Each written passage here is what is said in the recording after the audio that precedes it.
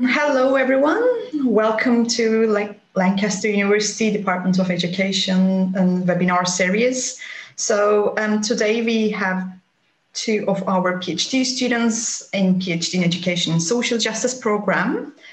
Um, so this seminar will be live streamed for off-campus postgraduate students, staff, and other interested people who can uh, ask questions at the end of the presentation using their computer audio or via the chat box. Um, the session will also be recorded and the recording will be available on the department website. So if you wish not to be recorded, please get in touch with us. Um, so we'll make sure that um, your, your name or your photo is not included in the recording. Um, I will ask all attendees to switch off their camera and mute their microphone during the presentation. And now I will introduce you two of our speakers today. Um, both are our PhD students in Education and Social Justice program. We have Sophia um, uh, who is a specialist teacher of English with 20 years of teaching experience, and her background is in English language um, and literature, teaching at the secondary level and English curriculum and exam creation at both um, the primary and secondary levels. Um, Sophia is, is doing a thesis on intersectional pedagogies, and today she's going to present that. And we have a second speaker, Lee Mackenzie, who works as a researcher and lecturer in English at the Universidad del Norte Barranquilla, uh, Colombia. Um, he's currently based in Colombia and he is um, going to present his PhD thesis on development, international development in English in higher education in Colombia. Um, his research interests include language, human development, and language teacher education. So we have two presenters today. So each, um, each presenter will speak around 30 minutes. And after that, um, we'll have another 30 minutes for questions and answers. Uh, so I will now mute myself um, and stop my um, video and the floor is Sophia's. Okay, welcome everyone. So thanks for that, Melis. Um, Melis has introduced me very well. So I'll just begin. So today I'm going to talk about intersectional pedagogy, its place in the English classroom. That is also going to be the topic of my thesis. I am from the Faculty of Education and Social Justice, and I've just put some contact details, my email and Twitter. If you wanted to contact me to discuss this further, that will be fine. So, to begin, let's just um, put this in context and um, introduce uh, the background behind this. So, as was previously said, I have 20 years' experience as an English language specialist at the secondary level. I was born in Jamaica, and you know, I'm actually telling my story because I think it is important to place and to cement my thesis, where I'm coming from, why is this so important to me, intersectionality and intersectional practices, and why I think it should also be important it, as an important topic of discussion. So I have, as I said, my um, background is in secondary education, and primarily I had different roles in terms of um, raising the pupil, pupil premium PP and non um, PP, non-pupil premium students, their attainment. And um, so as a result, when I started to research this and I saw that in um, the research, the, the background um, linked because it was saying, as Strand said, that there was still an equity and a disparity there also since 2012, the gap between low income pupils attainment at the end of primary school and the end of secondary school has widened, and this continues to widen. Um, previously, the research was really centered around Black um, Caribbean boys and their undertainment. And then it went, it shifted. There was a shift to white working class boys. So we have so much research on boys and their attainment. And then, um, of course, there is that issue of the inequity that exists in not only in the classroom, but in the English classroom. There's still a big gap between race, class, and gender. So that was the background, so to speak.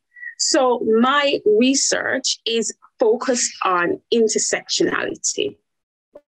And, you know, there has been a lot of buzz around this. Um, from Kimberlé Crenshaw um, started to, um, from she coined the term and she started to do her research on this, it has been used in numerous ways.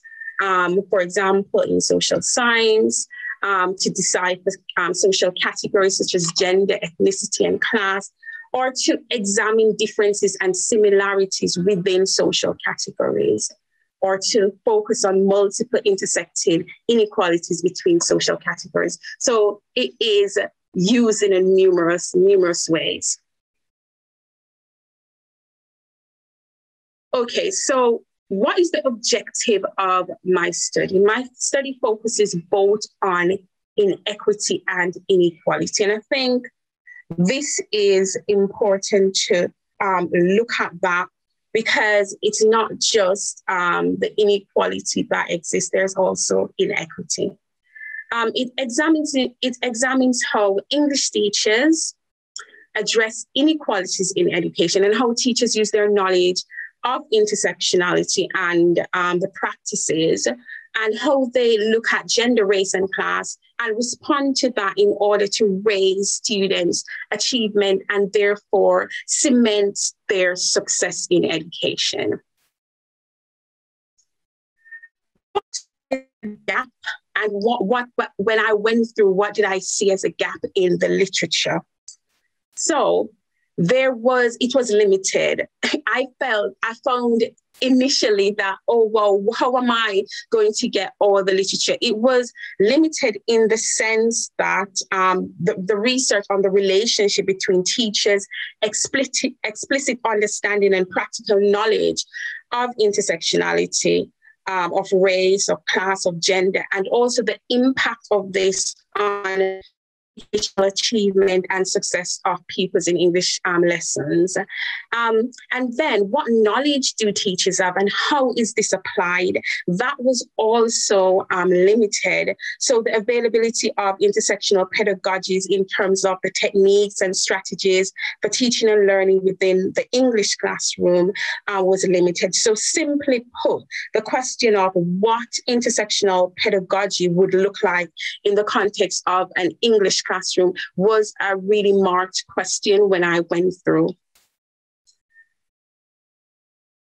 Okay, so moving on, I'm going to now just briefly um, go through um, the research problem, um, the rationale, which I, I think I have touched on um, the rationale for the study, um, the research design, and the theoretical framework.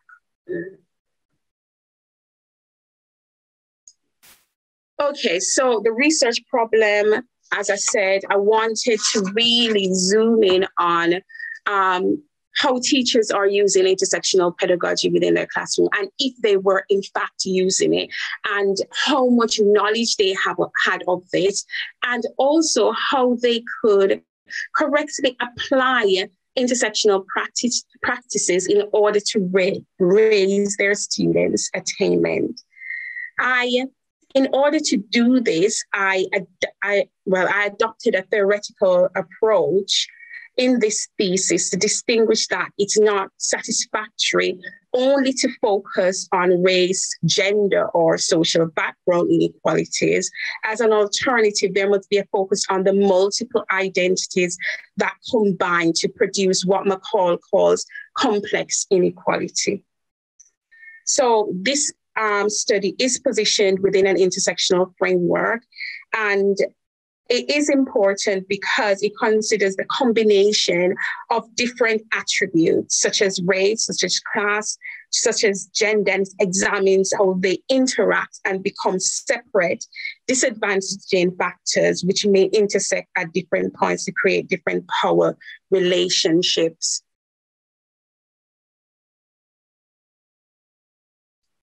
So I think I just did that, that one. So Intersectional intersectionality allows us to look at the constructs in society, such as race, class, and gender, intersectionally. I think that is important. And also to focus on the multiple identities that combine to contribute to these, what McCall refers to as complex inequality. It also examines how our multiple identities interact and become separate. And it also highlights the impact of race and racism on marginalized groups and the quest for social justice. And um, when I go through the, the um, some of the analysis of the findings, we look at that. So researchers um, talk a lot about um, these researchers about intersectional pedagogy, right? And they postulate that it's important for teachers to have an intersectionally aware teacher identity. And this concept of identity and how teachers take the, their identities within the classroom and how that impinges on students' learning, it's also something that the research um, underlines or even brings some light to. Um, and Herrera argue that the absence of intersectional pedagogies have the potential of doing more harm than good for pupils from marginalized backgrounds because they can further isolate and invalidate these pupils. And I have put that um, um, idea within today because when I went through my um, findings, one of the things that came through was that teachers um, had thought that the drawback, one drawback of, using intersectional pedagogy was that they could be seen as stereotyping. And as a result, instead of um, embracing intersectional pedagogy, they um, were very tentative to use it. And when you look at this argument, this idea that the absence of this is not um, helping because it could create isolation, it could create um, a lot of maybe disenfranchised, well, or disengagement with students. And then um, Berger believed that intersectional pedagogy encourage pupils and their social literacy, which will allow pupils to increase their ability to recognize internalized oppression and the confines of singular viewpoints and the cost of dominance. And the English curriculum, within the English curriculum, we have a lot of scope to um, have discussions on oppression and these topics that are really big topics, such as racism and um, the visibility or lack of visibility of girls um, in terms of some girls in the research. It came out that some girls they within a classroom setting they were there but their voices you know they allow the boys to dominate.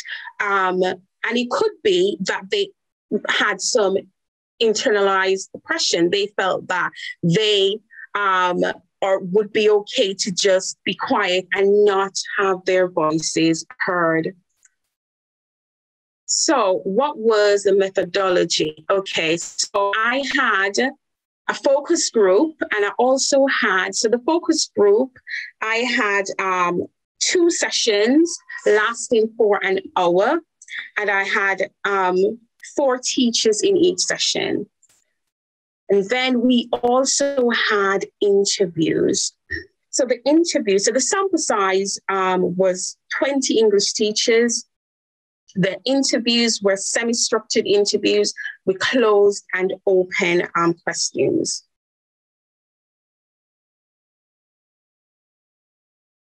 Right. Just sharing my research question so you can see what I um, looked at. So I had two research questions. And so the first one was To what extent does the intersectionality of class, race, and gender affect pupils' achievement and attitude to English? Then, what factors influence attainment in English classes? How can teachers implement strategies to tackle the problem of differential attainment in English classes? And to what extent do teachers use intersectional pedagogy to challenge the structure of race, class, and gender in their classes to ensure pupil um, attainment? So the research findings. So we're moving on to the nice bit where um, you can hear some of what came out. So what teachers say about intersectionality. So, and I have just put some direct quotes um, so you can get a feel of um, what was said. So they don't fit into one box and they, so this is a teacher referring to the students. They don't fit into one box because it's a whole overlap of different circumstances. So here you can see that yes, teachers are aware that pupils come in with multiplicity of identities, different circumstances. Another teacher said, but it's not that easy in terms of teaching and learning to, in a way, sort of like, you know, discriminate in that way and put everyone. So, you know, this is going to work for all, you know, Black students. So the challenges within um, teaching and learning and really trying to get and increase people attainment, but not isolating and not, um, eh, you know, including all students so that they're apart and not putting people, as this um, teacher said, in a box um, there's some of a mixture in terms of political, economic, social, and so in terms of race, gender, class, disability, and they all overlap. Then they they and then that becomes a child. And I like the way that you know we're looking at all these identities and how a child can come into the classroom, um, not just as an SEN child. And I was just recently talking to uh, a colleague about when you look on um, the websites of schools, you see they have a clear SEN policy, um, but there isn't any other um, policy in terms of inclusion. So, in terms of inclusion, SEN is there and it's cemented, but in terms of um, the other policies to be inclusive, such as intersectional practices, because an SEN child will have other um, identities, other factors. You know, there'll be gender, class, race, which all comes together and overlap. And the last one, there's um, not one way you can identify um, students, and that sums it up. What came out as well was um, teachers believe that in order to be intersectional and order to cement intersectional practices within a teaching environment, within an English classroom, there must be cultural understanding of people's backgrounds. So teachers must have a cultural understanding of where their peoples are coming from. And have some empathy around that. So one um, teacher summed it up as, you know, when we go into a classroom as English teachers, right, we have obviously the knowledge of teaching English to students, but I think one of the things that teachers English teachers, not just English teachers, all teachers lack is an understanding of the people's background and and and understanding of specifically cultural backgrounds. So this that was something that I saw um, recurring within um, the the data and when I when I started to look at the findings. So the importance of intersectional pedagogy to classroom practice was also discussed. And so the English curriculum that this question came up does it allow an intersectional approach? So the English curriculum does it. And uh, one teacher put it like this the teachers all spoke about um, the GCSE curriculum, English curriculum, not being fit for purpose.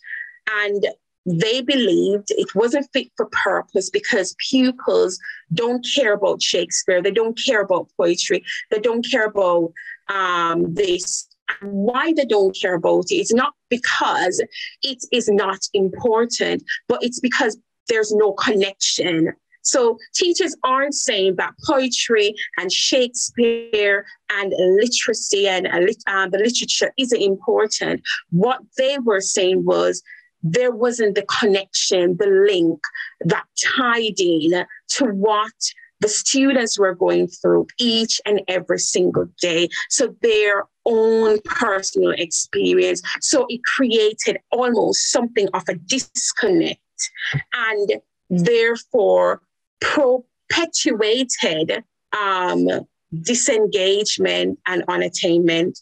Another teacher said, obviously not, because there's no identity. It doesn't identify with so many sectors of the community. For the Black kids, we don't have any Black poets or Black writers in there for the Asian kids. There's so many fantastic writers, and you know, books and things like that. And um, teachers did say that because the key stage three curriculum had more scope, it allowed you to um, put in more like more authors of your choice, then it, so it was more favorable than the GCSE, um, the key stage four um, curriculum that was quite set and quite rigid. And so the next one. So we talk about why those things aren't in the GCSE curriculum. So this question, um, the teacher was um, saying, how do, how do we ensure that we're trying to cater or marry up the two intersectionality or intersectional practices with what we do have the English curriculum. So um, talking about why those things aren't in the GCSE and they understand. So the students understand that, and actually, quite often they feel strongly about that. I mean, obviously, with the more modern poetry, they have made an effort to make it more multicultural, but even then, the students will understand that it's not available. And actually, some of the poets themselves deal with this this whole idea of not valuing valuing different cultures and not valuing where people come from and prioritizing one thing over another and all that kind of stuff. So, you know, the scope to discuss what is happening and the situation. And then Another teacher said at GCSE, we look at Blood Brothers, that's a set text on the English curriculum. And obviously there's a massive, there, there's massive class lines that go through that. Sadly, with some of the other GCSE stuff, our hands are tied, aren't they? Because you know Shakespeare, you can't do anything with that know the vast majority of the poetry is written by old white men. But actually, to talk about that with the students and say, you know, actually, the reason that there's not a lot of, you know, early female poetry that we're seeing is because, you know, actually, people don't necessarily think that was important to educate women to be able to produce their own literature and things like that. So, and I like what's coming out, that whole discussion, um, educating um, students about what is currently happening in society. Um, and these are big topics. Okay, so what teachers say about the benefits of intersectionality? And I'm going to skip through some of these because I want to get to um, the focus group. So I'll do one. Um, so the idea that we deliberately need, teachers need to deliberately embed these practices within their teaching. And it can't be um, by chance. And some of the teachers did say that they don't deliberately um, use intersectional practices. Well, before being invited to take part in the in um, the, the um, research, they didn't prior to that really consciously thought about, about it. So how do we, how to differentiate the curriculum? Because that's something, initially I was only going to do interviews, but then after talking to my supervisor, um, Melis, you know, it, it became important to do a focus group as well. I wanted for this um, research, for this study to be something that teachers could use. They could say, okay, I can use this, I can take this away and make my practice better. So I spoke about the identity, and I will touch on this because teachers talked about identity and their identity identity being so important to ensure that intersectionality is in their classroom. One teacher said, and I use um, Steve Jobs, his he said, so this is a quote from him the storyteller is the most powerful person in the world. And in fact, if you think about that, I look at my students, how engaged they get when I start to talk about aspects of my life, where I was um, brought up, where I was born, um, coming from Jamaica, coming here, having a family, being a mom with five girls. They love that. They get really engaged.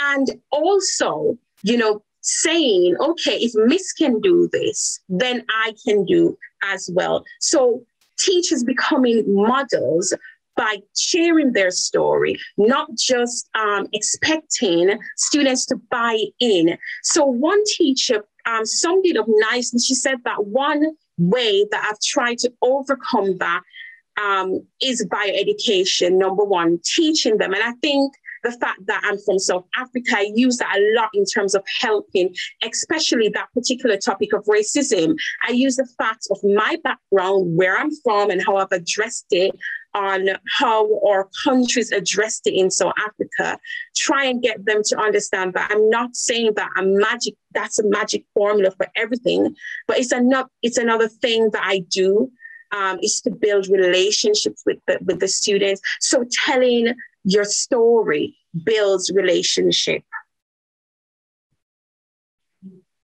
I'm moving on to the um, to the intersectional practices that teachers in the study believed uh, would eff- effectively embed intersectionality in their classroom practice. So, thinking about um, uh, key stage four, if you're planning your curriculum what would you include in the scheme of work? And the teachers um, believe that these were things that must and should be there. So, oracy topics and big topics such as race, class, and gender foreground those topics within your classroom discussions. Get different opportunities um, to discuss these so students are aware of different um, races, different practices, different um, customs. And also the students who um, or represent these races, these classes, these genders will feel embraced and welcome because we're acknowledging um, them within our practice. They talked about using multimodal text. So you're using different texts. So you could use um, a written text, you could use a text, an audio text, you could use a video as well. So that would link to the different ways that um, students learn. Um, they talked about looking at societal role reversal and one video, the Bridgertons, would be something that you could use, and that's a video. And then one another um, text, multimodal text that looks at this role reversal in society is Noughts and Crosses um, by Malorie Black- Blackman. And a lot of schools do use um, noughts and crosses for their year nine or year eight as well, using different images. And these images um, ensure that these images are reflective of the students in your classroom. You know, so you have girls, you have boys, you have different races as well, using different genres as well. So having complaint letters, informal, formal language, having transactional writing, also linking that to real life skills and skills that they need in the future they thought was really important. Talking about financial aspects of life as well and linking that. And as you see, the English classroom does embrace every other subject. I remember when I was training and my lecturer said that, and it is in fact true because in an English classroom, you can link, um, link a maths lesson, geography, um, science, you name it. Um, Sophia, you have three minutes left. So three minutes. Okay. I'm coming down. Um, okay, so they also talked about cultural capital and giving students the opportunity to go on enrichment um, opportunities to maybe invite a local writer or a poet within um, the school and ensuring that it's different um, races, different genders as well. Also inviting local business people into school to raise aspirations among pupils. They also talk about having entrepreneurial skills as well and linking that to British values. They talked about career paths and looking at, you know, the British values, tolerance, responsibility, um, democracy, liberty, respect, law, and embedding that within the classroom. Community relationships was something that they thought was important. So you connecting the different communities and relating that to the modern day um, experiences. They also thought that talking about ageism was something that was important as well. And the last bit is the terminology. So um, they believe that having different um, vocabulary, so some schools had tiered vocabulary. So you look at, and the tier one, two, and three looked at different um, levels, how sophisticated the vocabulary could get.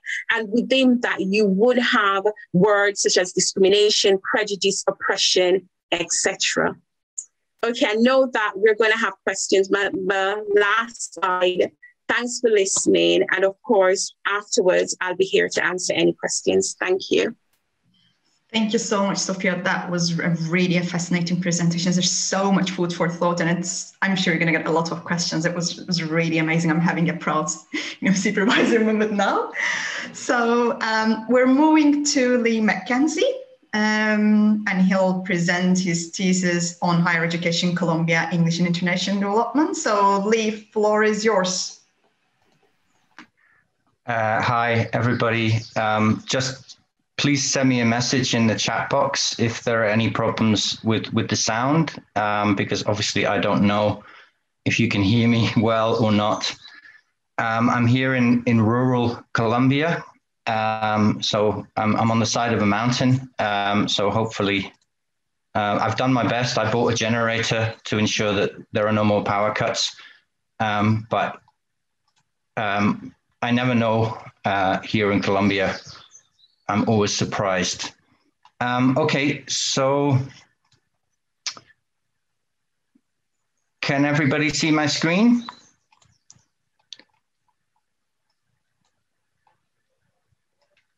Hello? Yes, oh, we, can, we can see Lee, but um, would you like to press F5 so we can get the entire screen? Because now we can see your notes as well. Um, sorry, it's. We can see your screen, but maybe you should go to the first one. We can see your notes as well. Right, hang on, hang on. Um, oh, we have time, don't worry. Okay, you shouldn't see my notes now. Yes, exactly. Now, yes, theorizing English. Yeah, yeah, yeah. Perfect. Okay. Um, so uh, this topic is broadly situated within a growing body of literature on the relationship between uh, English and development. And the purpose of the research uh, I conducted for my PhD thesis was to look at how English language education in Colombian higher education uh, contributes to or stifles human development. But I, I, don't have time to talk about all of that. Um, so we're just going to look today at how English contributes to disadvantage in Colombia. And these are the specific things I will aim to do today.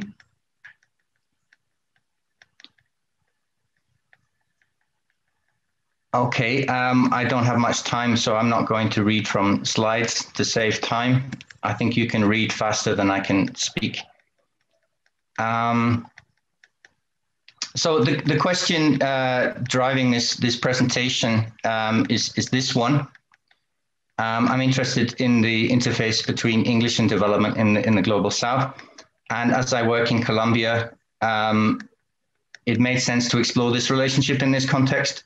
Um, but it's also a very interesting uh, context because of the historic links uh, with the United States, um, which has uh, shifted perceptions of, of English in uh, Colombia.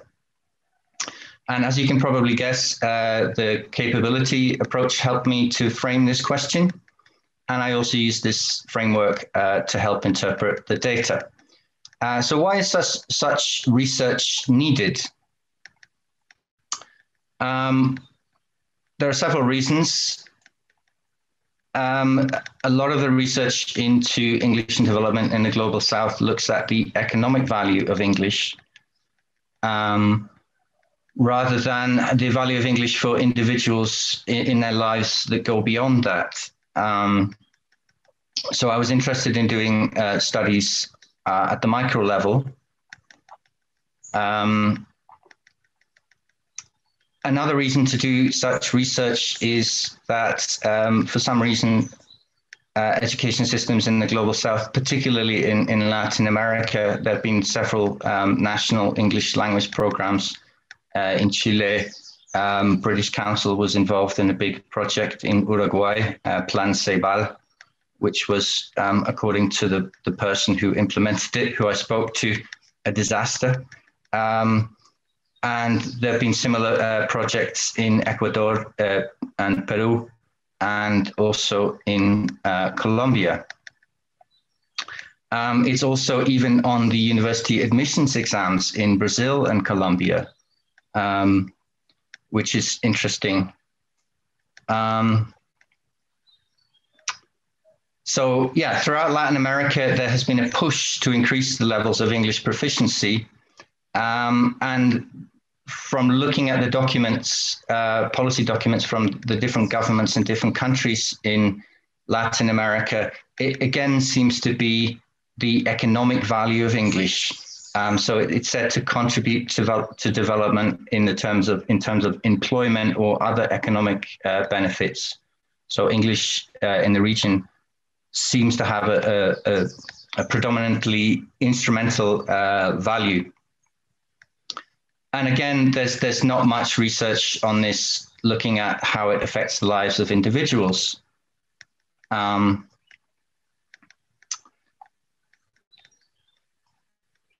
oh, uh, just just to mention one other point. Um, I'm not sure if you're familiar with the Common European Framework, but A1 is the lowest level, C2 is the highest level, and it's interesting that the Common European Framework, although it's European, uh, is widely used in uh, Latin America. And university graduates in Ecuador and Colombia are expected to achieve a B1 level, which is about intermediate or let's say conversational level in English, a bit more than conversational level. Okay, um, the research context specifically, uh, English in higher education in Colombia, uh, which is the context that I researched. Um, so uh, how did English disadvantage or advantage um, higher education graduates in Colombia? Um, so English is a, a, ubiquitous in Colombian higher education. Um, and it's included, as I, as I mentioned uh, on the previous slide, um, it's included on the university admissions and uh, exit exams. Um, and it's not just for universities, it's for other higher educational institutes. So if you want to be a, a plumber or an electrician, or um, if you want to be a dairy farmer, um, you have to learn English. Um, it's compulsory. You, you, you, can't get out of it. And you often have to pay uh, to learn English in addition to the cost of your uh, studies. Um, and one impact of this is that some students have needed longer to complete their studies or they have failed to graduate uh, because of poor fluency in English. at my university, you cannot get your graduation certificate, your degree, until you have passed all the English levels. Um, and this disproportionately impacts economically disadvantaged students since they typically have much lower English language proficiency uh, when entering higher education than their more privileged uh, counterparts. Uh, one reason for this uh, is that um, the students that have a lot of money, they go to private schools, which are um, not always, but typically um, of better quality uh, than the public schools, the state schools. Um, although some low-end private schools maybe are quite similar to public schools with, with a few differences, like the student numbers might be lower. But the high-end private schools um, typically teach uh, a bilingual program, so there are courses in English and courses in Spanish. So by the time that students from wealthy backgrounds go to university, their English level uh, tends to be pretty good. And those who went to public schools uh, tend to have zero English or, or very limited uh, competence in English. Okay, so now you have some basic information about the uh, research context. Um, I'm just going to introduce the theoretical uh, framework. Um, and the three concepts from the capability approach, which I have time to, to briefly look at, are uh, capabilities. Um, so the advantage of capabilities is that um, it supports a multi-dimensional analysis of the relationship between English and advantage. So it goes beyond purely the economic dimension um, of the value of English and allows us to look at um, other dimensions um, of the value of English in uh, the global south.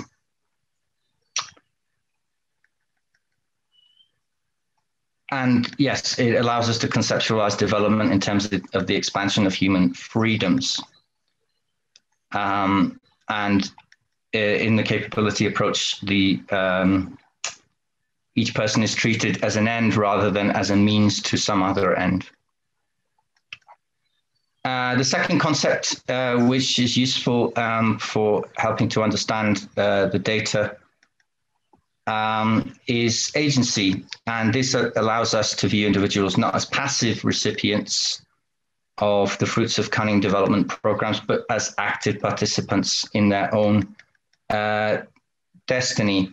Uh, human agency is a critical uh, element of, of well-being. And it is important because it, it helps us to view participants not as victims of circumstance, um, but as individuals who can shape their uh, opportunities as um, agents, not patients. Uh, and the third uh, concept I have time to look at is the concept of conversion factors. Um, these uh, shed light, help us to shed light on the barriers that individuals face as a result of English language education in Colombian higher education. If we know what problems they're having with converting uh, their resources into functionings, um, then that's very useful information for policymakers, obviously. Um, and can point to reasons why different individuals may struggle uh, to turn their English language skills to their advantage. So, as I mentioned, students from private schools tend to have better English than students from public schools. Um, so, the, the outcome or the functioning uh, when they get to university is, is different. Um, and it's interesting to look at the reasons for that. One reason is, is public schools, but obviously there are, there are more reasons. Okay. Um, very few studies use the um, capabilities approach to look at the role of English in development. There's probably about 10 studies in total by about four or five different authors um, that have used the capability to, to, approach to look at the role of English in development. So this is a very, very new um, field within the English and development field, a focus on the um, the value of English at the micro level is very new. there's quite a bit on language economics um, and how, as I said, uh, English has an economic value. And uh, maybe because of this, uh, English is under theorized uh, within the capability uh, literature. So to help in this theorization, um, I draw on the writings of Nussbaum and Sen and others uh, within the capability approach to try to kind of theorize what, what is English within the capability approach? How can, how can English be understood within the capability approach? So I scoured the writings of uh, Nussbaum um, for her um, her comments on English or languages, and this was probably the best quote that I found from her.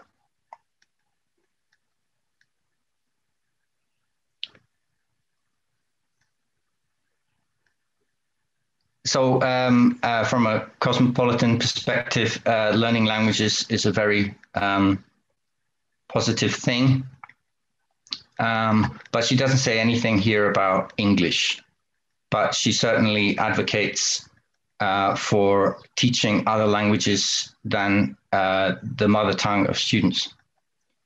Um, in terms of uh, Sen's view of English or languages, well, he uh, often refers to India, where English has a different role from the role of English in Colombia. And uh, in a very short YouTube video, he says that um, English helps economic integration as well as international relations in um, Colombia.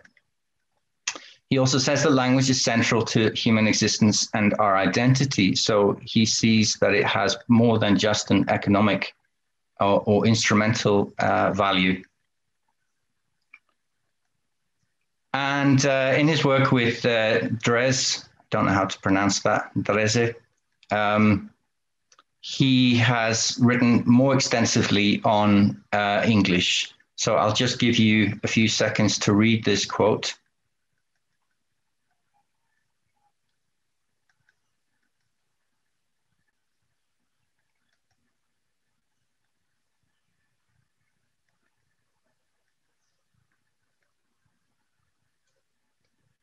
Um, so, so Sen and Andres, they, they clearly have no illusions about the um, negative role of English um, in in India. Um, and I think this is an important point. English expands opportunities for some and uh, limits opportunities for for others. Um, elsewhere in the capability uh, research, um, some uh, scholars have only touched on the role English can play in human flourishing and in education systems. Um, for example, um, particularly in Wilson Strydom, um, say insufficient levels of competence in the language of instruction can adversely affect university access and participation and can stifle development of Nussbaum's list of central capabilities. Um, interestingly, and please correct me if I'm wrong, but I've checked this. Nussbaum's um, central capabilities do not mention uh, language explicitly. I think they refer to literacy, um, which is different from speaking a language. So you can be illiterate but still speak a foreign language. Um, uh, Adamson and Tamim, who, who have used the capability approach uh, to look at the role of English in the global south, uh, say that English acts as a social stratifier uh, because proficiency in this language strongly correlates with socioeconomic status. And as I've been saying, this is similar in Colombia. Uh, and one factor in this is private schooling, which tends to have more resources and better English language teachers uh, because they pay more uh, than the public sector. Um, okay, next slide.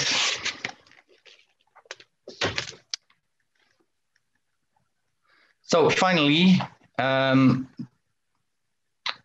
some other capability uh, scholars have written that uh, the lack, lack of English proficiency can represent a capability obstacle uh, to aspirations uh, achievement. So we saw on, on, on the previous slide how um, level of English or lack of competence in English can be an issue. Uh, and again, this is repeated here. Um, and interestingly, Calitz and Gore and Walker say that English speakers can face marginalization because of their accent or low level of English. And um, this is also true in Colombia. Um, when I teach my classes and my students have had a Colombian teacher, they often mock that Colombian teacher's English accent. Um, they seem to think that a native speaker is somehow better, which is obviously rubbish.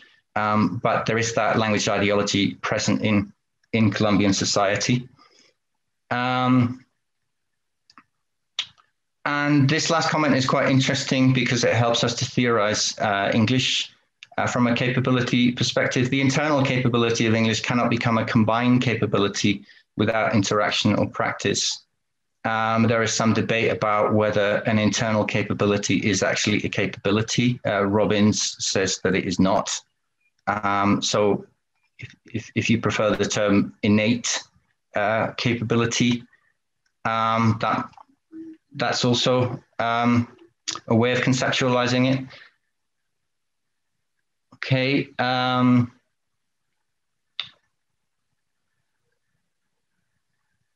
right. So the, the important point about this is that um, you need the right conditions to be able to develop the, the internal capability. Um, so uh, as we said, um, proficiency in English can um, be uh, a capability obstacle. And if you don't have the right conditions to develop that capability, um, then obviously that's going to not going to lead to capability expansion. Um, okay, so what are the implications of this theorization of uh, English as a linguistic uh, capability? Um, I would say that English can be understood as a relational capability. Um, the concept of relational refers to the interaction of social factors with individuals' capabilities. Uh, and language capabilities, I would argue, are relational because what counts as a sufficient level of competence for achieving important functionings depends on the context. So uh, when I lived in Switzerland, I was teaching primary school teachers so that they had a C2 level of English um, but a primary school teacher here in Colombia would probably only require uh, an A1 level of English. So the value of that English um, depends on the competence level that you have in that language, and that varies from context to context. Um, it's also relational because, uh, as I mentioned, teach, uh, speakers can face, or teachers can face marginalization because of their English accent or level of proficiency. And if you are a non native speaker, you may have experienced this. Um, I think there's also a lot of accentism within the UK. Um, I come from the north and I've lost a lot of my accent because I, I, I got the feeling that it wasn't received well uh, when I spoke with a thick Geordie accent like. So, um, I, for these reasons, I would argue that uh, languages are relational. Um, the other reason that it can be relational is that this capability cannot cannot normally be practiced in isolation. Um, if if you lock somebody in a room for 15 years during their childhood, when they come out, they will not speak a language. So it requires interaction. Going back to the point about internal capabilities and and combined uh, capabilities. Okay, um, another factor to consider is that linguistic capabilities differ in terms of robustness. Um, and this concurs with the Council of Europe, which developed the Common European Framework, uh, which uh, stated that the process of language learning is continuous and individual. No two users of a language, whether native speakers or foreign learners, have exactly the same competencies or develop them in the same way. So um, if you look at language acquisition theory, everybody has a unique interlanguage, a unique language. Um, not everybody has exactly the same vocabulary or, or English knowledge. Um, and everybody's um, language skills are in a state of development or um, the opposite if, if you don't have opportunities to speak uh, or practice English. So I think Comyn calls um, certain types of capabilities becomings because they, they represent a process of something which is becoming something else and shouldn't be viewed as something static. Okay. Um, so I would argue that the linguistic capability is in various stages of development and varies from person to person. Um, I would also argue that just as an individual's level of education can promote different degrees of human flourishing, so too may her level of English. And since proficiency in English correlates positively with financial resources, viewing English as a process capability or as a becoming uh, may call attention to other injustices. So if we know that somebody's capability to speak English is low compared to somebody else's, um, that may indicate some injustices.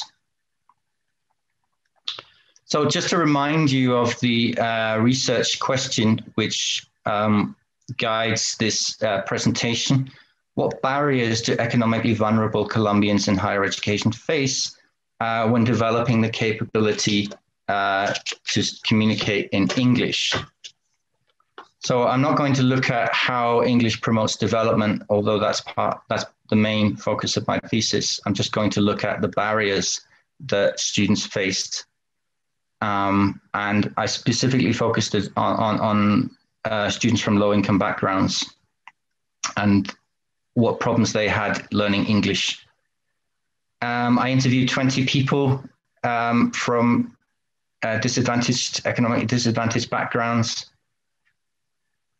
um, and I've used pseudonyms. Um, obviously, ethical uh, procedures were uh, followed, uh, but I also had to translate uh, most of these interviews because the level of English that they had was so low that we couldn't do the interviews in English in all but four of the cases. Okay, so uh, broadly speaking, the, the interview data showed that almost all participants had very low levels of the capability to communicate in English when entering their respective higher education institutes. Many of these participants were placed in English classes alongside wealthier, uh, more proficient students. Um, all participants showed, uh, reported that the quality of English language education was low across uh, higher education uh, institutes whether they were private or public. And few uh, participants obtained the expected B1 exit level of proficiency. So the target was not met in most cases. Um, so let's look at some extracts of uh, English and how this has uh, led to disadvantage or um, gave rise to disadvantage. Um, this is a quote from Theo, uh, who is a public university degree graduate uh, in modern languages. I'll just give you a moment to read it.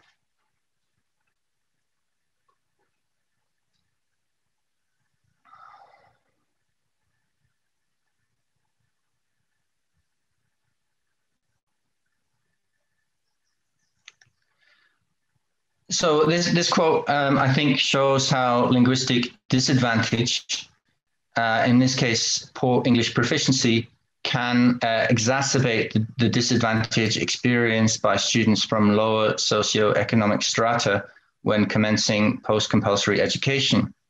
Uh, in particular, the incipient nature of Theo's capability to communicate in English made it more difficult for him to participate in English language education on an equal footing uh, with his wealthier classmates.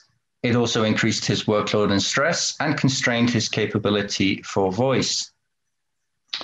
As this quote also shows, wealthier students had more opportunities to interact in English as they had the economic means to pay for private tuition.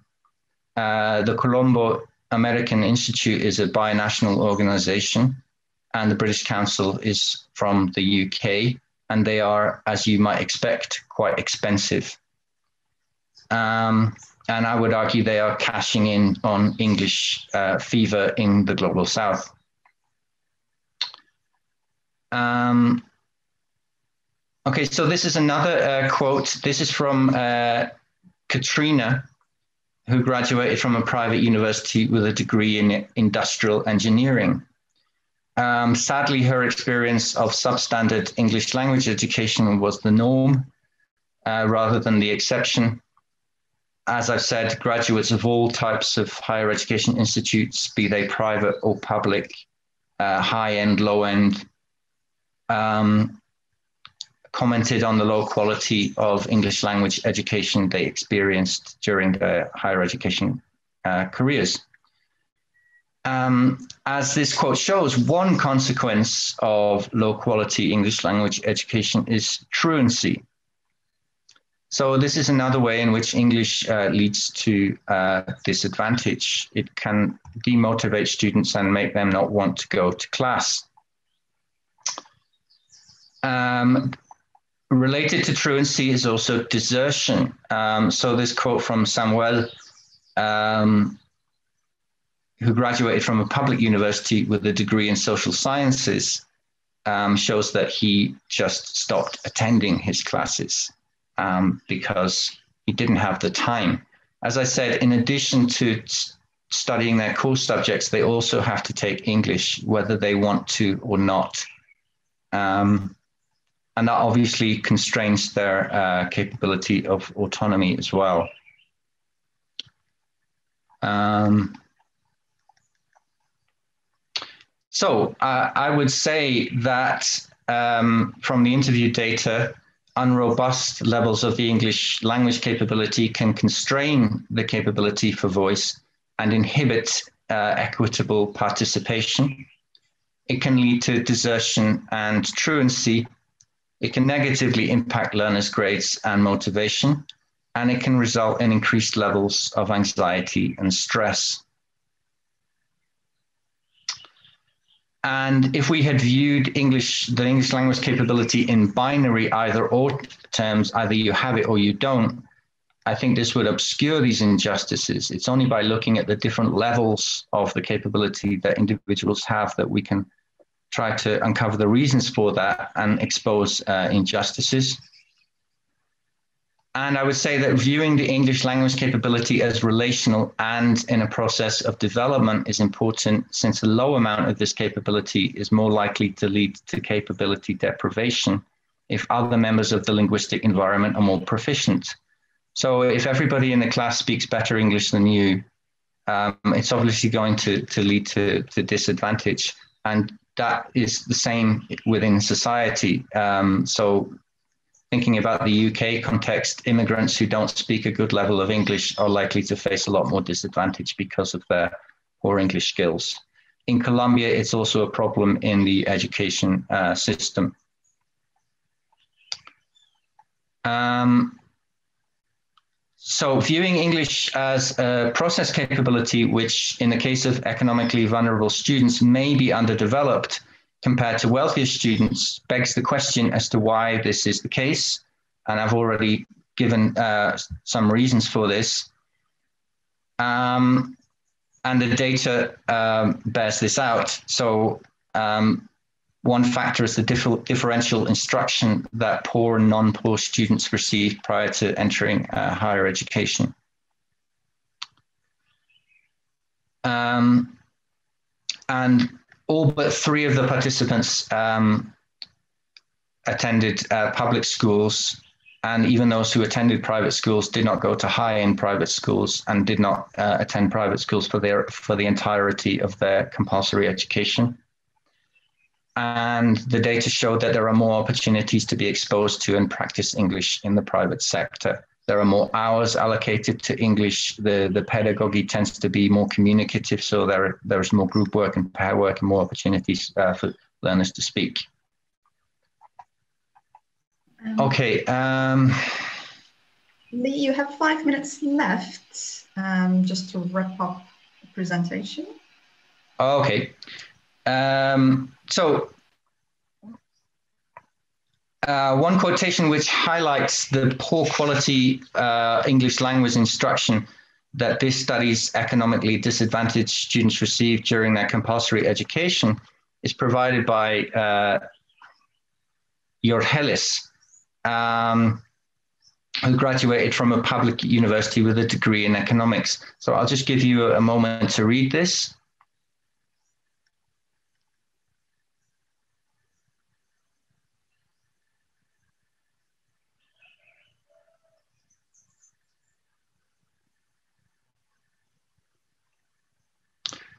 So as Jorgelis explains uh, here, uh, private uh, bilingual schools are expensive and were therefore beyond the budget of most of this studi- studies uh, participants. Um, as I said previously, three participants attended private schools for some of their schooling, but they all had to transfer to public schools for economic reasons. Um, one of these participants is uh, Luna, and her experience is illuminating because it clearly highlights um, the contrast in standards between the public and the private sectors. So this is the quote from Luna. I'll just give you a moment to read this.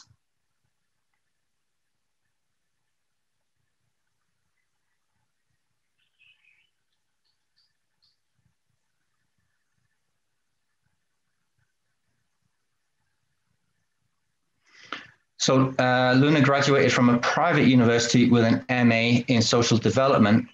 And she shows here that one reason for the poor quality of English language education in public schools is teacher absenteeism.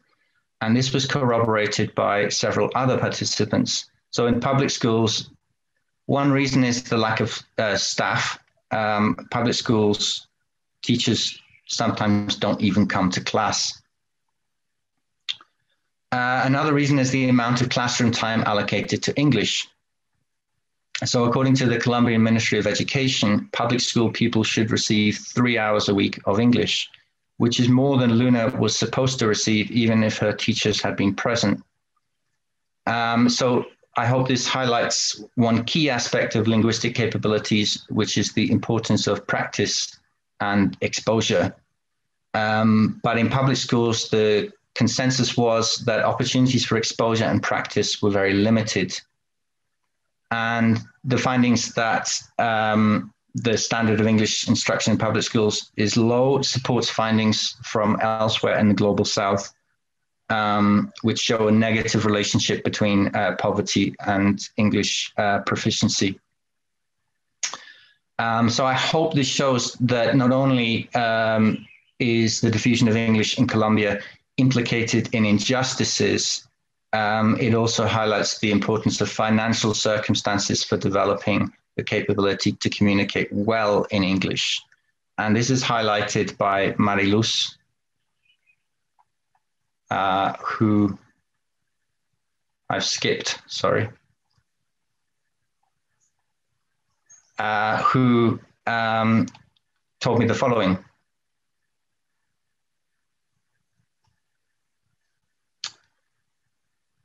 Yeah, so this term, uh, we have to settle for what's on offer. This is very, very common um, in, in Colombia that people have learned not to expect anything better. Um, so Maria Lucia seems to have internalized the logic that an education which is paid for directly um, is superior to an education which is funded indirectly through taxes. And it shows the extent to which quality education is seen as a privilege of the wealthy in Colombia. Uh, given that participants' access to better quality schools was limited for economic reasons, it's perhaps not surprising that this, this can lead individuals to adapt their preferences to unjust conditions.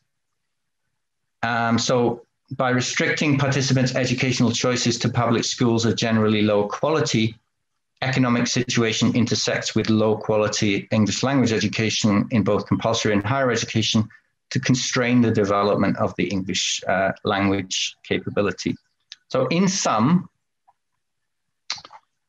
the uh, interview data showed that individuals without the means to attend the better resourced private schools, which allow more opportunities for practice and exposure, are more likely to experience linguistic disadvantage when entering higher education. Um, in line with other studies, there appears to be a relationship between household income and the level of proficiency in English. Um, and despite, but despite this, all participants eventually passed their English classes and graduated. And just to leave on something positive, um, educational resilience was instrumental in enabling participants to catch up with their more pro- proficient pe- uh, peers.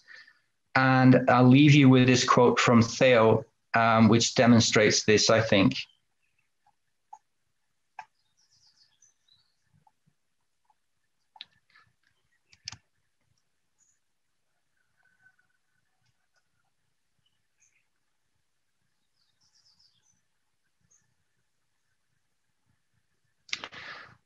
So um, this quote shows how Theo had to negotiate barriers both inside and outside the classroom in order to claim the same amount of the capability to communicate in English as his wealthier peers.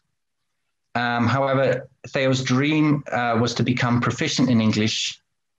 Um, so he was able to use his resilience to associate with high performing students, and a bicycle helped him to navigate the geographical obstacles he faced. Uh, so this, as this example indicates, conversion factors can interact to shape the English language proficiency, English language capability, sorry, uh, in complex and person-specific ways.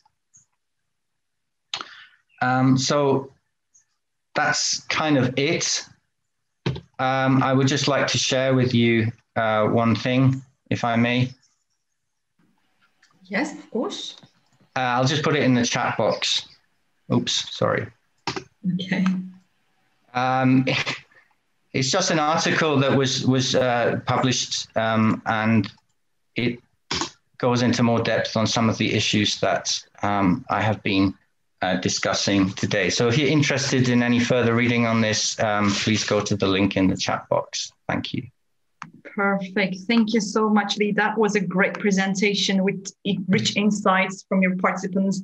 And I know that there's much more than that in your um, also thesis, which you weren't able to, of course, present in 30 minutes, but um, some of the discussions in your thesis were um, touching on linguistic imperialism, and there was a complex, there's a complex conceptualization of um, linguistic imperialism with linguistic capability, and then you have all those debates on massification of higher education coming in. And huge congratulations for your article.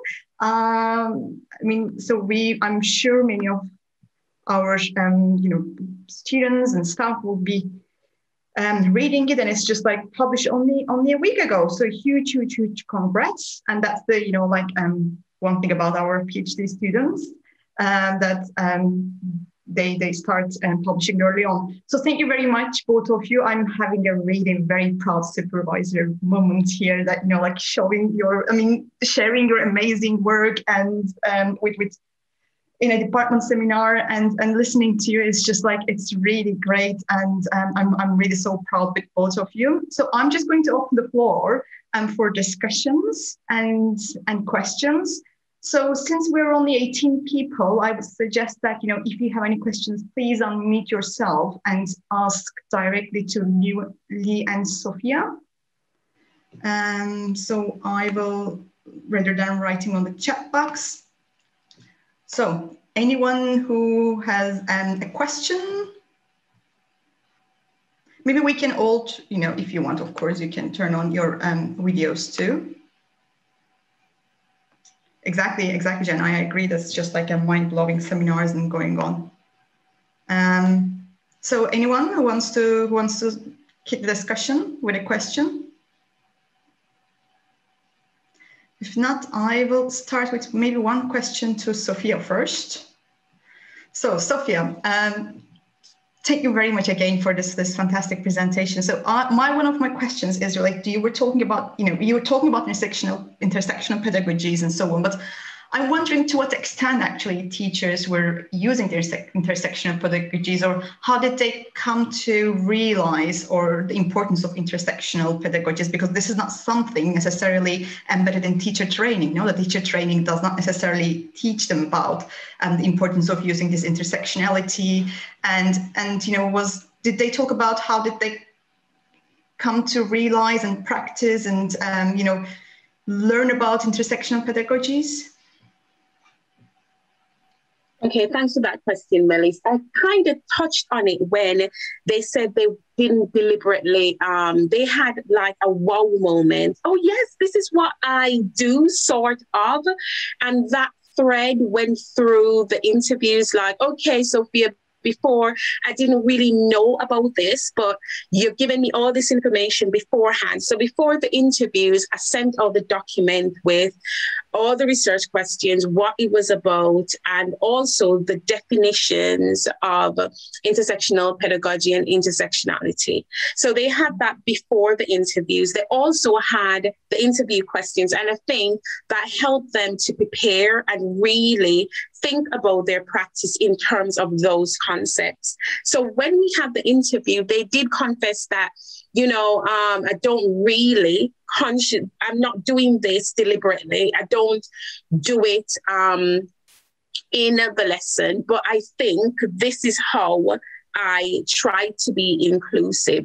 So a lot of um, teachers, um, well, addressed it in terms of how they use inclusion within their classroom. Mm-hmm. Mm-hmm. Okay, thank you. Um, yes, yes, please.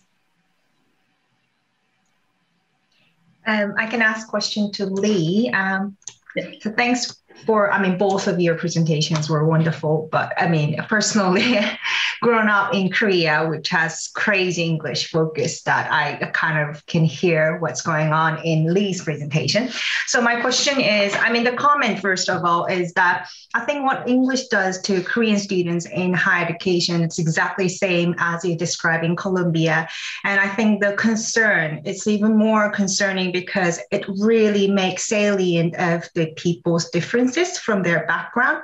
Before speaking English, actually, it's kind of they can hide where they're coming from if they want. But as soon as they have to speak out English, that's immediately people hear their accent and level of English proficiency, uh, proficiency that's really bad.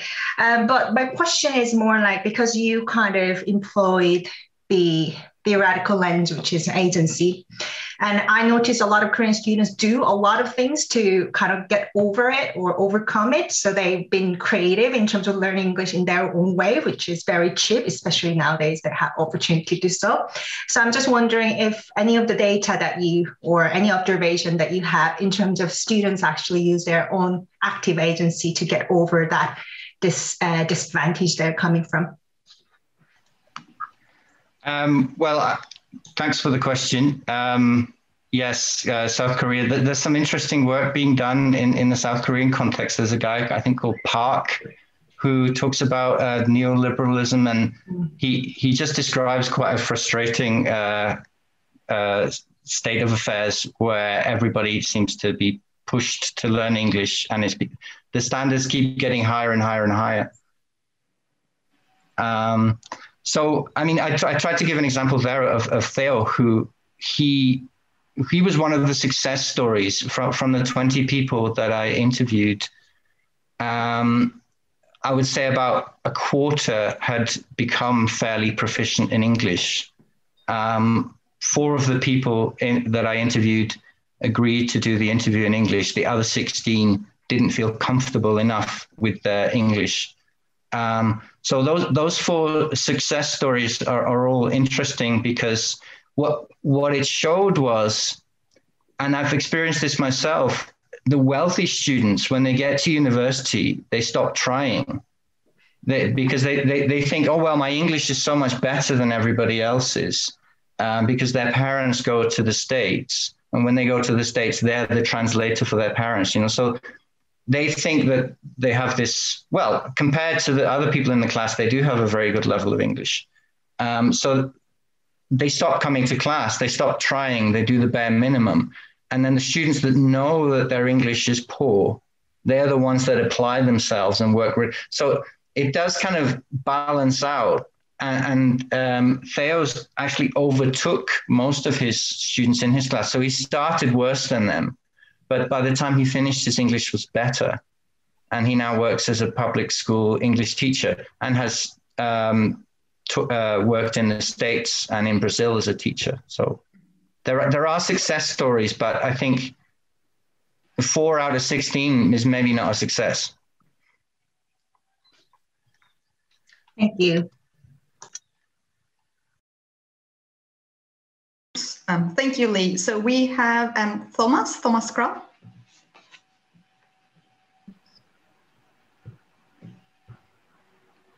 Sorry. yes, hello. Um, thank you. Hi, thank you to both of uh, our presenters today. It was really, really interesting. Um, my is actually for Lee because um, his his research and mine intersect quite a lot. I'm, I'm doing similar work in, in a different context. But um, yeah, Lee, I was wondering um, with the capabilities approach, um, did you also did you um, ask the participants in your interviews about kind of English beyond the educational context and and and how what value they saw in learning English or, or English having, um, you know, English communication skills and English proficiency. What was like, how did they value those competencies and what impact did that have on, did that have on their motivation? Sort of looking just beyond getting through the, their university education. Because I imagine in Colombia, it's um, English likely plays a somewhat limited role in, in um, you know, in the public sphere or in, in, in, society. So I was just wondering if that, if any of um, that came out in your studies or how, how that, how you engaged with that part of it.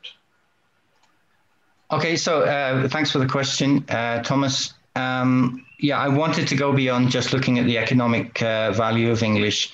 So I, I, looked at the research and, and uh, looked at all the ways that English is claimed to contribute to development, and we've had claims that English promotes peace, um, is useful for uh, getting foreign aid. Um, but I took a, I took a critical perspective to this because, for example, the aid uh, question uh, in Colombia, foreign aid equals foreign interference. Um, so I tried to kind of be very critical about whether English did contribute to other dimensions of uh, human flourishing beyond the economic. Um, what came out uh, quite strongly was aspirations that they they felt English would be useful uh, to them in the future because they wanted to either go and study in an English speaking country or travel. But most of them most of them hadn't done that. Yeah, so it was more aspirational than actual, actual having a real value. Uh, some of them mentioned identity, that it, was an important part of their identity. Um, access to knowledge was, was another dimension. Um, uh, being able to consume artistic and cultural products. So basically watching Netflix, um, but also, you know, uh, enjoying music. So, so there are a lot of dimensions that came out just beyond the, the economic I'm not sure if I answered all of your question. Please feel free to interrupt me. No, that's great. Thank you. No, that's what I was I was wondering. Yeah, no, thank you for that. Okay. Thank you. Thank you, Thomas. So um, we have a question from Skyna. Uh, thank you, Melis. Uh, love both the presentations, both from Sophia and also from Lee. And I like the way different uh, frameworks were used to look at the study. So if I may, Melis, I'm going to ask questions to both of them. So for Sophia, you mentioned in your discussion that year nine were using noughts and crosses. Uh, was there any opportunity where you could actually engage with the teachers and find how the teaching was very different when they were using a text from Shakespeare and a text from Noughts and Crosses. So that's a question for Sophia. And a question for Lee. Uh, Lee, you mentioned that you had to drop your accent at some point. So how did that actually uh, come in terms of did it affect your studies at all? So did you have to leave your accent in order to get on with the studies so that you can become an insider person? Or was it because you had your accent and you were seen as an outsider? Thank you. Okay, I'll go first. Thanks for that, Sakina. I hope I have pronounced your name correctly. Okay, um, so you asked how different it was when um did how the difference that teachers found in teaching, for example, Noughts and Crosses as opposed to Shakespeare. So, what the teachers said when they spoke about um, texts such as Noughts and Crosses, they felt that students um, engaged better with it because they felt as if it was um, more modern for one, and then he dealt with different races, um, which, you know, similar to their race, similar to their context. While Shakespeare, you know, a lot of students didn't even understand the language. And one teacher even said for some students who don't have like a Christian background, you know how some of the language in Shakespeare, like thou and art, if you read the Bible, it's a similar kind of language. Um, so those students who um, were like Christians or read the Bible or that sort of thing, they um, related better, like they understood it better. They didn't have students saying, Miss, what, what is thou? What does that mean? And having to go through that kind of language. So, yes, students were more engaged.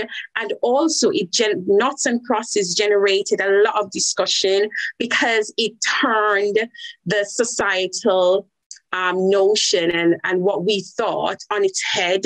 You know, normally it's um, most novels had like whites being in a dominant situation. And in Noughts and Crosses, it's not like that. So instantly students started to say, what's happening here, miss? Why? And that created other discussions on race and also gender. I hope that answered your question. Yes, it, it did, Sophia. Thank you. I mean, I enjoyed watching uh, and Crosses. I really loved the costumes as well. So, because I was born in Kenya, so the costumes and the material that is used, in I, I sort of uh, wear those kinds of clothing as well. So for me, it was like I can see something that's really happening live as well. So thank you, Sophia. Uh, thank you, uh, Sukaina. I don't know, again, if that's the correct pronunciation. Um, my accent, well, I, I come from a, a, very working class background, and I was the first person in my family to go to university. And I studied English at university, which is not the typical subject as somebody from a working class background would, would study, but I love books.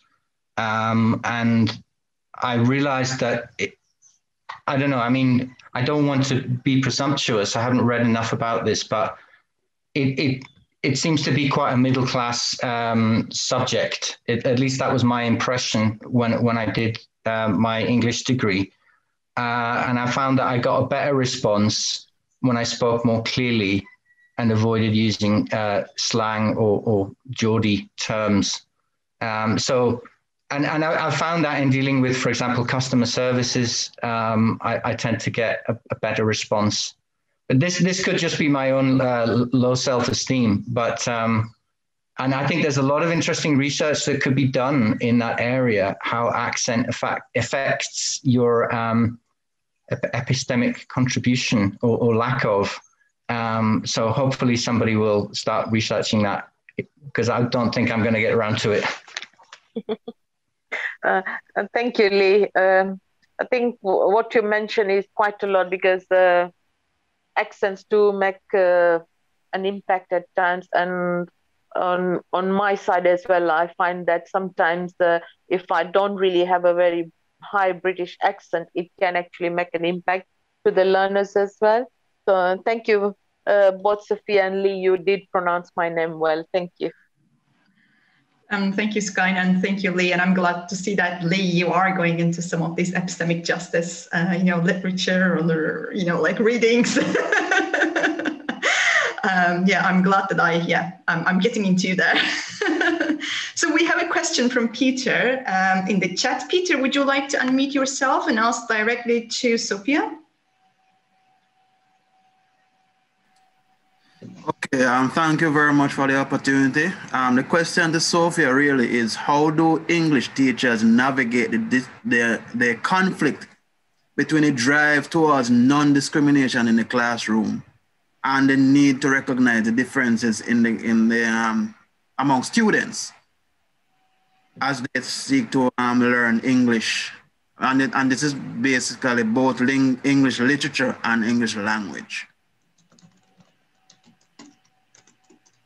Okay, thanks for that question, Peter. So, um, one of the um, things that teachers said, they felt sometimes about that stereotypical that they were being stereotyping. For example, you know, you don't want to be discriminatory to anyone. You want to be inclusive. However, some their ideas before the research, they came into it thinking, okay, if I'm going to use intersectional practices, I'm going to be saying, okay, this is what we're going to do for boys, this is what we're going to do for girls, this is what we're going to do for um, SEN. And that could create disadvantage. But then throughout the um, questioning and the discussions, what came out was including intersectional practices is, in fact, focusing on everyone. It's not creating um, inequality because, yes, you do realize that, okay. So, for example, let, let me give an example. If you're going to be teaching a topic around maybe sports, what you in an intersectional classroom, you would have topics um, on all types. You wouldn't be um, rigid and set. You'd also have pictures of um, girls being footballers, boys being footballers. You'd be having para um, Olympics as well. So um, students with disabilities. So you're showing all the other, all the areas, all the ways to do it, and that opens it up more, makes it more inclusive rather than thinking, okay, I'm only going to um, do football for boys. You know, and that would, one teacher did say that um, her way of doing it was you know, she gave an example of her growing up, going to school and having a career as then the teacher saying, Oh, you're black, so you can sing, you can do singing. And yes, she could sing, but she felt as if she was being put in a box just because of her race. So, how do we open it up and ensure that it's more intersectional? That's the question. I hope I answered that. Um, yeah, thank you. Thank you, Sophia. So I think we're coming into an, but I saw that Lorena, you raised your hand. Do you still want to ask your question before I finish? I sort of, yeah. Um, yeah, hello. Um, yeah, it, it, was just a comment more than a question. I'm from Ecuador, and I can see that uh, um, the linguistic issues between uh, Colombia, in Colombia and in Ecuador, are very similar. So um, maybe uh, Lee, you are uh, very appreciated there in, in Colombia because as you are a native speaker, um, you could see that um, it's like um, students appreciate more native speaker teachers than the all uh, the for example in my case here in ecuador students uh, always ask for uh, if they can have uh, uh, a, native English, a, native speaker in, in the English language. So for that reason is that um, maybe uh, the Ecuadorian teachers um, feel like we are not uh, um, well appreciated in our country. However, we are um, um doing the, we are preparing more and more in the in teaching English. And I would like to know maybe if uh, you have found um, a problem with uh, the indigenous group in terms of um, equity or something like that when they uh, learn English with the other students. Uh, uh, muchas gracias por su pregunta, uh, Lorena. Thank you for the question. gracias. Um, yes, I mean, they're, they're, they're quite comparable in some. I, I, also worked in Ecuador, so I kind of know a bit about the context. Um, there. I mean, as, as you know, Ecuador has a larger indigenous uh, population than Colombia. From about the 50 million Colombians, only about 1 million identify as indigenous. But um, the English language requirement is not lifted in many cases, even though they speak an indigenous language and Spanish, and therefore meet the criteria for the what what is called Colombia's push to to bilingualism. Um, they, in addition, have to learn English, which obviously disadvantages them because living in indigenous communities, how useful is English to them? Um, and the, the native speakerism, I'm just going to paste um, an article that I, I wrote about discriminatory advertisements. And it's amazing the amount of discrimination, not just in the global south. And I, I think it would be a mistake to, to categorize it as a problem that's just in the global south. I've seen native speakerism in Europe um, and in, in Asia, um, basically saying native speakers only. If you don't have a British passport or American passport, don't apply which is just crazy that you know we, the UN condemned discrimination in I think 1952, and 70 years later we are still discriminating against people on the basis of origin, with the argument that um, native speakers are somehow better. Um, but th- this is the discourse of linguistic imperialism, which which I cover in my uh, thesis, um, which is very pervasive. Um, so if you're interested in this, uh, have a look at uh, Robert Phillipson. He has five fallacies of the of English, and one of them is the native speaker fallacy that the native speaker is somehow better. Um, so I think it requires more people like yourself to challenge this uh, this dominant narrative. Yeah, thank you, thank you so much, Lee. Um, so I'll end the session here now. We're just slightly 10 minutes over the scheduled time. Um, but I would like to say huge, huge, huge thanks and congratulations to Sophia and Lee for this fantastic session. And Lee, again, congratulations for your on your article, new article I will just like share now on um, on our social media accounts, um, your article, so that you know everyone gets to read that. Um, so thank you very much, everyone. This was the last session of our webinar series, and um, we will be seeing you um, next academic year, which will start in October. So until then, please take care. Have a lovely summer or winter break wherever you are, and yeah, and see you in October. Bye. Thank you. Bye, everyone. Thank you. Thank you. Already post the session, but you know, it's a quick one, so um, so the question is, what role does culture play in the learning of English in higher education, and do you think that social media could impact English proficiencies?